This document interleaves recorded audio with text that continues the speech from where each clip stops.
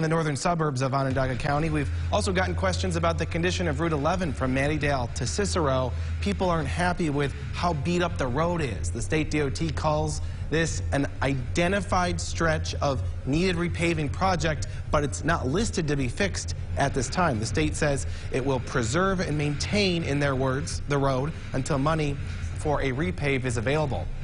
We're also getting concerns